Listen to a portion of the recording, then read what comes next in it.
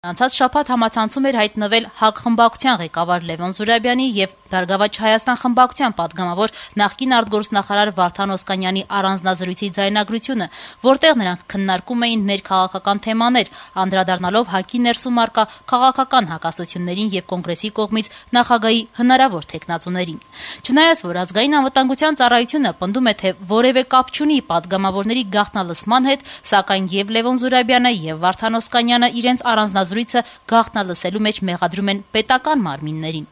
Հայաստանի ազգային անվտանգության ծառայությունը կատարելով քաղաքական հակառակորդներին լրտեսելու եւ վարկաբեկելու Սերժ Սարգսյանի հակասահմանադրական հրամանը ապօրինաբար գաղտնալսել է երկու падգամավորներ Վարդան Օսկանյանի եւ իմ մասնավոր զրույցը եւ ինտերնետում տեղադրել այդ զրույցի ձայնագրությունից կծմծված մինյուտ։ Կիրակի օրը տարածած հաղորդագրության մեջ նշել է Լևոն Զուրաբյանը, նա գաղտնալսման փաստը գնահատել է սահմանադրությանը հակասող եւ ապօրինի, պահանջելով քրեական պատասխանատվության կանչել գաղտնալսման եւ դրա հիման սեղան վրա պատրաստված նյութի հրապարակման հեղինակներին։ Վարդան Օսկանյանն էլ այսօր է հայտարարություն տարածել Facebook սոցցանցի իր էջում, ընդգծելով. Լևոն Զուրաբյանի եւ իմ հանդիպման փաստի եւ զրույցի բովանդակության շուրջ որևէ սենսացիա չկա եւ չի կարող լինել։ Այստեղ միակ սենսացիան այն է, որ ժողովրդի կողմից ընտրված երկու падգամավոր հետապնդվում են, պետական ռեսուրսներ են վատնվում նրանց գաղտնալսելու համար։ Նշենք, որ Վարդան Օսկանյանն ազգային ժողովի այսօրվա արտահերտ նիստին չէր մասնակցում, իսկ Լևոն Զուրաբյանը ընդհանրապես հրաժարվեց որևէ որևէ բան ասել։ Իրավապահ համակարգը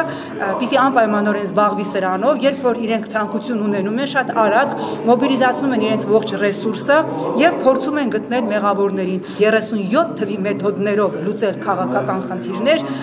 սա ուղղակիորեն հակասում է այն հայտարարություններին, որոնք այս վերջի հատկապես օրերին մենք լսում ենք թե հայաստանյան, թե եվրոպական տարբեր ամբիոններից։ Հակ պատգամավոր Նիկոլ Փաշինյանն էլ երկու պատգամավորների գաղտնալուսումն ու տարածումը որակեց խորհրդային կարգ ԿԳԲ-ին բնորոշ գործելավոճ։ Իդեպ նկատենք, որ Փաշինյանի անունը քննարկման առարկա էր դարձել հայտնի առանձնազրույցում։ Հայաստանի Հանրապետության քրեական օրենսգրքի 146-րդ հոդվածի հատկանիշն է, պետք է քրեական գործառույթը ապօրինի գաղտնան 50 իրականացրած եւ դա համացանցում տեղադրած անձանց քրեական պատասխանատվության Իրեւ Փաշինյանը հրաժարվեց պատասխանել այն հարցերին, թե ում էր ձեռնտու երկու падգամավորների ներքաղաքական թեմաների շուրջ ձայնագրության հրապարակումը։ Նա նաև չցանկացավ անդրադառնալ գաղտնալսված զրույցի բովանդակությանը։ Ոճը կգբ ԿԳԲ-ի ոճ է եւ հավանաբար իշխանությունները պետք է ապացուցեն, որ իրենք չեն արել, որ հետո քննարկենք, թե ել ում կարող էր դա։ Ազգային անվտանգության ծառայությունն արդեն հերքել է եւ նշել է, որ մտածածին են իրենց հասցեին հնչող մեղադրանքները որևէ կապ չունեն։ Դուք դա հնարավոր համարում եք, որ առանց հասարակ քաղաքացի չի, որը ընդամենը հերքումով սահմանափակվի, եթե հերքում է, ապա պետք է քրեական գործ հարուցի եւ ողրզի ով է արել այդ օրինախախտումը։ Զուրաբյանը նշում է, որ դա ազգային անվտանգության ծառայությունն է արել, նրան է մեղադրանք ներկայացնում։ Ես չեմ կարծում, որ այդքան Զուրաբյանի պրոդուկտն է, որ պիտի ազգային անվտանգությանը հետաքրքրի։ Իսկ Օսկանյանը այդ պրոդուկտն է։ Ոչ էլ նա Իսկ ում էին հետաքրքիր։ Շատ սովորական խոսակցություն Բամբասախարը։ Պարոն Սահակյան, պետք է քրեական գործ հարուցվի ձեր կարծիքով տեղի ունեցածի հետ կապ։ Եթե բողոքող կողմ լինի, բնական է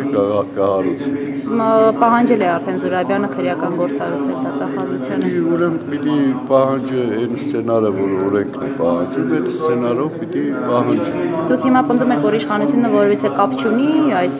գաղտնալսման եւ տարածման հետ։ Ես չեմ կարծում, որ իշխանությունը որևէ խնդիր ունի երկու падգամավորների խոսքը ձայնագրելու եւ հրապարակելու։ Դա որևէ բան չի տալիս։ Գլխավոր դատախազի խոսնակ Սոնա Տրուզյանն ասաց, որ Զուրաբյանից իրենք որևէ հաղորդում չեն ստացել։ Տրուզյանը նաև պարզաբանեց, որ քրեական դատավարության օրենսգրքի համաձայն անձը պետք է գրավոր կամ բանավոր դիմում ներկայացնի։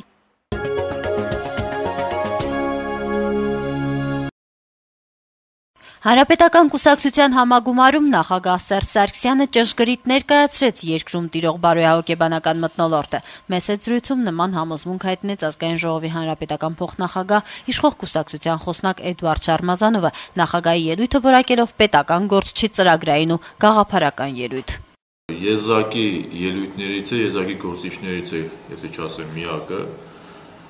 պարոն նախագահ, որը կարողացավ այս մեր անկախ պետականության ողջ հիմնական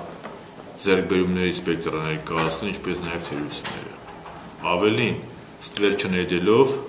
իր նախորդ գործընկերների վրա։ Դա խոսում է մարդու պետական մտածողության մասին եւ խոսում է եւ գալիս է ապահովելու այն փաստը, որի մասին խոսեց նախագահը, որ հանրապետականը երբեք կուսակցամոլությամբ չի տարապել։ Սերժ Սարգսյանի նախընտրական կարգախոսը, ինչպես հայտնի է, դեպի ապահով Հայաստանն է լինելու։ Իր ծրագրային ելույթում նախագահը հայտարարեց, որ քաղաքացին պետք է իրեն ապահով եւ ինքնավստահ զգա թե փողոցում, թե աշխատավայրում, թե ոստիկանատանը, թե դատարանում, որ Հայաստանի քաղաքացու հետ պետք է դուքով խոսել, իսկ կոռուպցիայի եւ ամենաթողության մասին խոսելիս հավատացրեց, որ հայաստանցիների նոր սերունդը անպատժելիության հանդիպելու է միայն ծնողների հուշերում, ասաց Սերժ Սարգսյանը վստահեցնելով, որ ընդամենը մի քանի տարի դրսում ապրած մեր հայրենի բնակիչների համար Հայաստանը անճանաչելիորեն փոխվել է։ Այո, նախագահը շատ ճիշտ նշեց, որ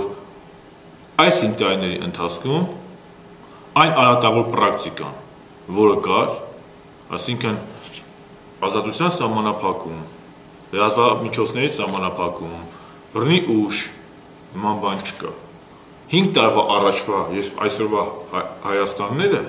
լրիվ անճանաչելի են խոսքի ազատության մակարդակով։ Ոչ կոալիցիոն Բարգավաճ Հայաստանը նախագահի ելույթին բավական զուսպ է արձագանքում։ Կուսակցության խոսնակ Տիգրան Ուրիխանյանը մեզ փոխանցեց, որ ելույթում մատնանշվող երևույթների վերաբերյալ իրենք բազմիցս իրենց գնահատականները հնչեցրել են եւ ոչինչ չունեն ավելացնելու։ Հնդիմադիր հայազգային կոնգրեսի համար այս ելույթը բացարձակապես կապ չուներ իրականության հետ։ Մեր երկիրը կործանում են կոռուպցիա, մենաշնորհները, զորբայությունները, դատարանում կատարվող այլանդակությունները Ինչ ապահովության մասին է խոսքը, եթե Հայաստանը տոկոսային հարաբերությամբ այսօր աշխարհում առաջին արտագաղթող երկրների մեջ է։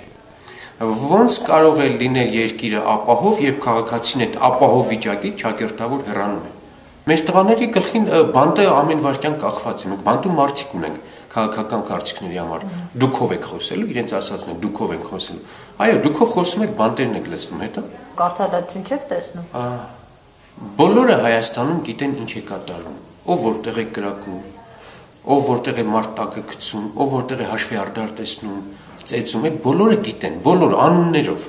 անվանական ժամով, տեղով, գիտեն ներքին գործերում, բոլորը գիտեն։ Գիտեն ում բարեկամ ու որտեղ ինչ արեց։ Եվ ոչ մեկ չի պատժվում։ Այս բոլորը գիտեն ու դրա ֆոնի վրա խոսել արդարության մասին բացի քնջիծաղ առաջացնել, ուրիշ զգացում չի գալիս։ Որ ասում են արդարության պակասը ամենամեծ պակասն է Հայաստանում, հա։ Հետո ինչ եղավ դրանից հետո։ Այն որ ասում են օլիգարխներին պետքա բերենք հարկային դաշտ։ Դրանից հետո ինչ եղավ։ Հա, նա մեծ հաջողությունը համարում, որ Հայաստանում լրագրող չեն սպանել, հա, իր պաշտոնավարության տարիներին եւ դա մեծ հաջողություն է։ Այդպիսի հաջողություններ կարող ենք արձանագրել բազմաթիվ Ասենք քաղաքացիական պատերազմ չի եղել Հայաստանում։ Զանգվածային ինքնասպանություններ չեն եղել, սովամահության զանգվածային դեպքեր չեն եղել։ Դա փաստորեն այն քիչ հաջողություններից է, որ Սերժ Սարգսյանը եւ իր իշխանությունը կարող են ներկայացնել ժողովրդին։ Հավելեմ, որ իշխող կուսակցությունը բնական է համարում ընդդիմախոսների քննադատությունները։ Բնական եմ համարում, որ քաղաքական ընդդիմությունը ընտրությունից առաջ չի կարող իր մեջ ուժ գտնել եւ ասել իրականությունը։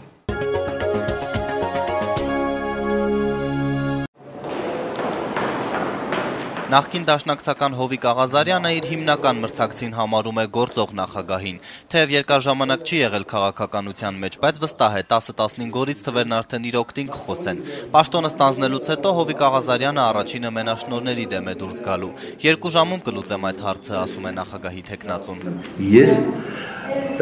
կուլակաթափություն չեմ անելու։ Բոլոր գործարանները, բոլոր օլիգարխները պետք է հասկանան, որ իրենք լինելու են ազատ քաղաքացիներ եւ այսօր ունենալով հսկայական ստարտային կապիտալ պետք է զարգացնեն իրենց բիզնեսը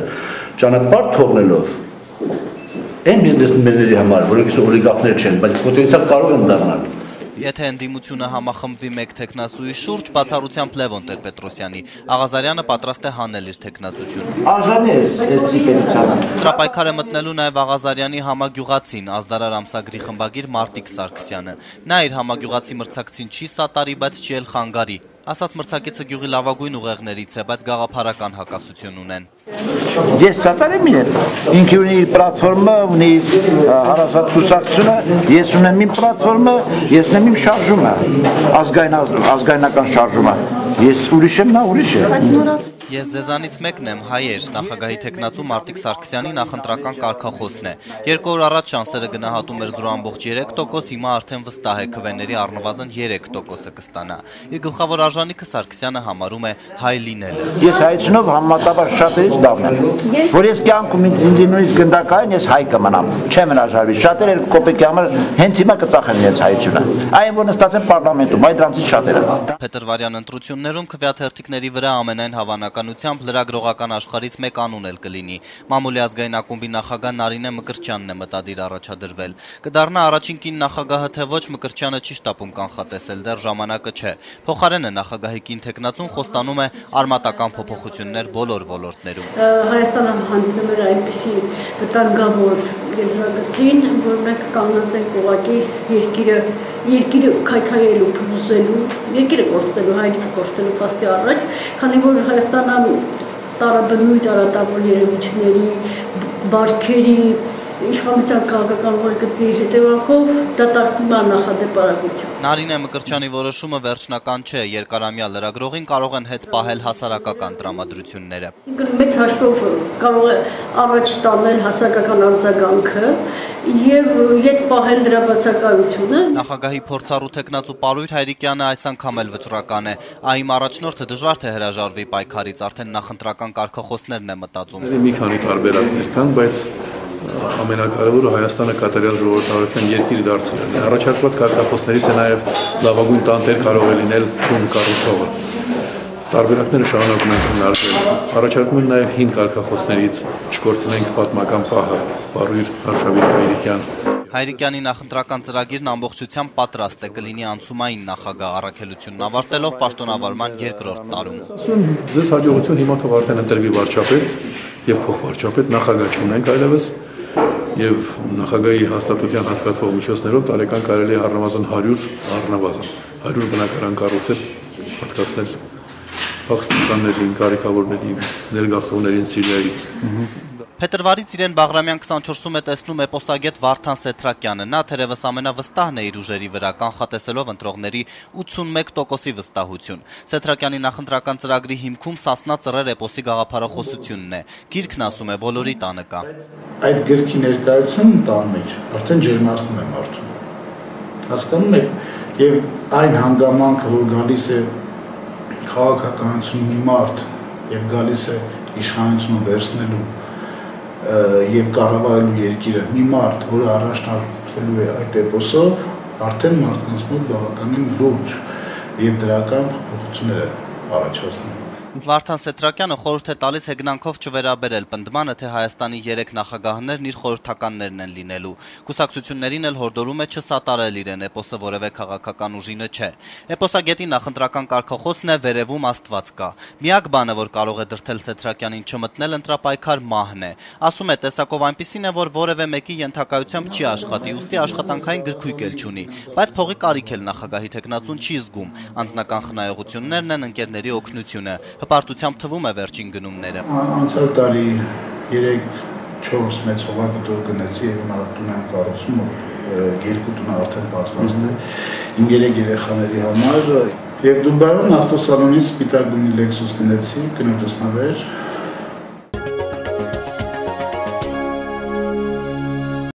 Երևանի քաղաքապետարանին հարող փողոցներով եւ մայթերով շրջելու համար դահուկներ պետք չեն։ Մեզ հանդիպած անցորդները հաճելիորեն զարմացած են ստեղծված իրավիճակից։ Քաղաքապետարանի շուրջը լավ է։ Քաղաքապետարանի շուրջը։ Հալ ես կաբինետից նոր եմ դուրս եկել, երեք է։ Իսկ էլ որ մասում եք քայլը։ Աչափնյակում, բայց սեփական տան կողմերը ավելի դժվար։ Կարմեք։ Խանաքեր զայթունում է դժվար։ Կենտրոնական փողոցներում ուրը, բայց ավելի որ հատվածները դժվար է։ Հեշտ է քայլելը փողոցում։ այո։ Մաքուր է։ Շատ զգուշ եմ քայլում։ Շատ զգուշ եք քայլում։ Իսկ մենակ կենտրոնում եք քայլել այս հատվածներում, թե ավելի ծայրամասերում եք քայլել։ Կոմիտասում եմ քայլը նորմալ է։ Երևանի քաղաքապետարանից փոխանցեցին, որ գիշեր ու ցերեկ զբաղվում են ձյան մաքրման աշխատանքներով։ Այստեղից ընդամենը 1 կանգար հեռավորության վրա գտնվող Պարոնյան եւ Լեոյի փողոցների խաչմերուկում քաղաքացիները զգուշավորությամբ էին քայլում, իսկ մեկին էլ փորձեցինք մենք օգնել։ Մեկ ապտի կնամ յոթ։ Բայց դժվար չի։ Այս դժվար է, դժվար է, բայց ուղղակի չզը։ Ընկերեք։ Քային պետք է չէ,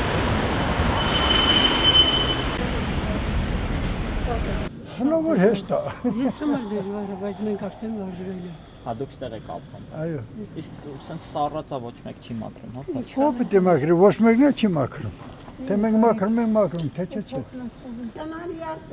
Ոնց ասեմ, հանգստանալու բարձրանում ենք էլի։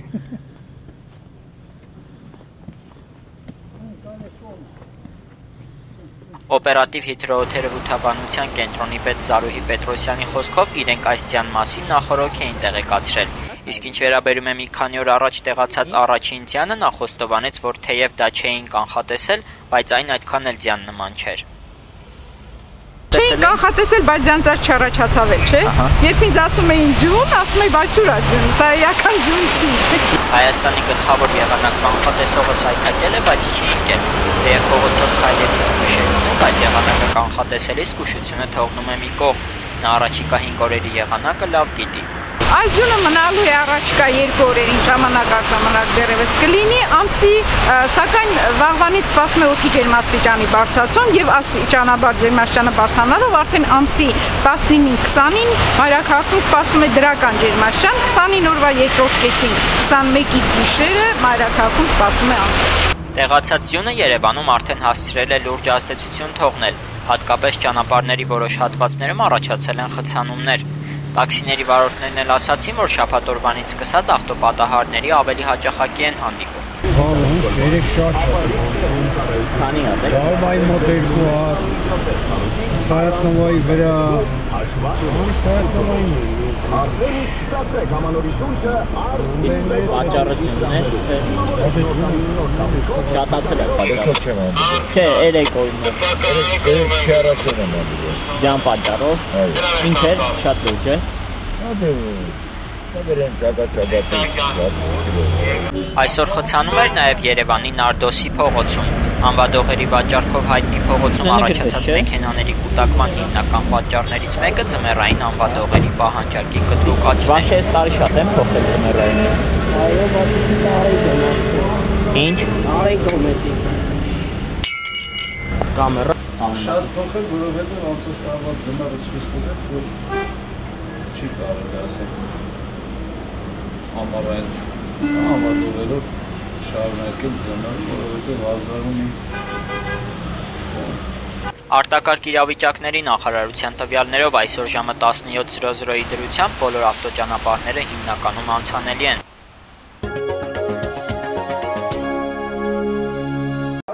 Այս տարվա աշխատանքի տոնավաճառը Հայաստանի իշխանությունները կազմակերպեցին սիրիական ճգնաժամի հետևանքով Հայաստան փախած սիրիահայերի համար։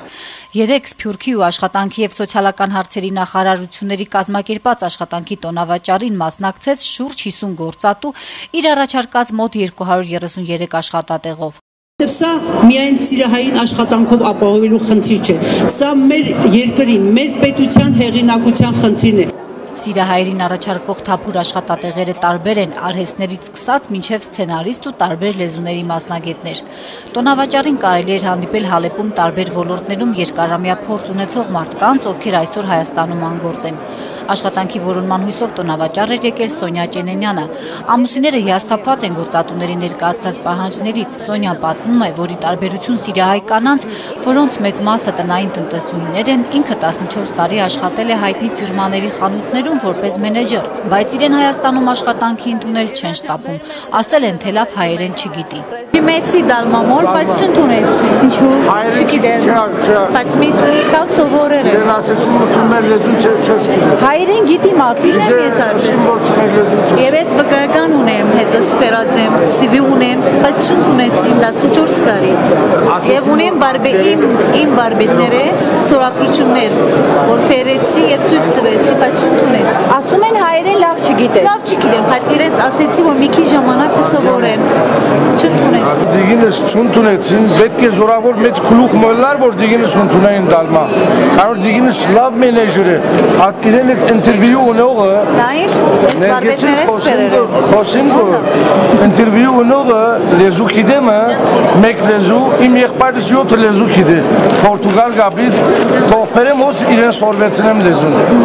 դիգինս էմբես ինտերվյուրին դուրս տրի Վահե Գոջիկյանը Հալեպում հյուրանոցի տնօրեն է եղել։ Հայաստանում նրան այդ ոլորտում աշխատանքի չեն վերցնում, ռուսերեն լեզվի իմացություն ու տարատեսակ փաստաթղթեր են պահանջում։ Սիրահայերը ռուսերենին գրեթե չեն տիրապետում։ Մերժվել եմ, որովհետև